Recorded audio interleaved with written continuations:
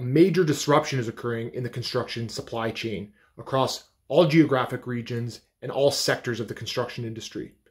Much the same as other industries, COVID 19 has had very disruptive impacts on the construction industry. However, as the saying goes, when it rains, it pours. Labor strife, logistics, and microclimate impacts are all working together to create a perfect storm that's resulting in wild swings in construction material prices and delays in delivery. Today, we're going to touch on some of our recommendations for contractors and municipalities for how you can account for these things in your current projects. From a COVID 19 standpoint, the global manufacturing supply chain is being slowed. In Canada, the National Association of Manufacturers is reporting that over 53% of its member companies are experiencing major operational disruptions. Every week, we're hearing about new industrial and logistics companies closing facilities and laying off workers to curb the spread of the virus and many contributing industries are also experiencing these issues. The Seafarers Union, who represents cargo ship crews, have warned of a total shutdown of the Canadian shipping industry if a vaccine plan is not immediately developed. Border crossings are slowing down, and the manufacturing centers of critical construction materials, such as pipe fittings, and raw materials, such as brass and resin, are either having difficulty meeting demand or are hoarding these materials because they're in such short supply. All of this is leading to almost daily changes in the prices for pipes and fittings, as well as delays on the delivery of materials in the sewer and water main sector and in other critical complementary sectors. Since January of 2020, the price of commonly used building materials has reached historic levels. According to StatsCan, the cost for lumber and other wood products has increased by 180%. Steel products have increased by 150%, and fabricated metal and construction materials have increased by over 100%. And now we're seeing similar increases in the price of PVC pipe, municipal castings, copper tube, valve boxes, and many other municipal water products.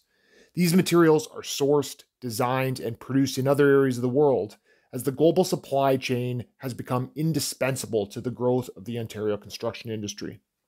While the price of building materials fluctuates constantly, this current volatility has made the normally smooth supply chain quite unpredictable.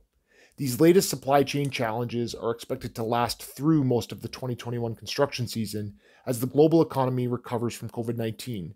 So it's important to understand and account for the impact that these shortages and price spikes are going to have on your projects. And there are a number of things you can do to account for this.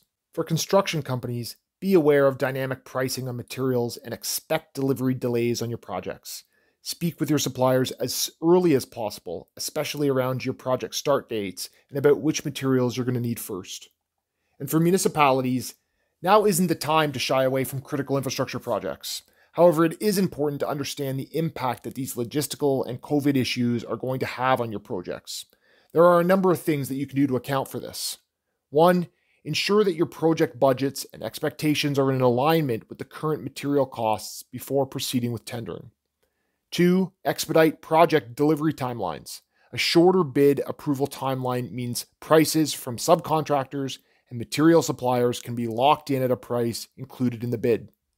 Three, put in place a material payment adjustment clause or common materials index to deal with the price fluctuations of certain materials similar to the MTO's fuel price index.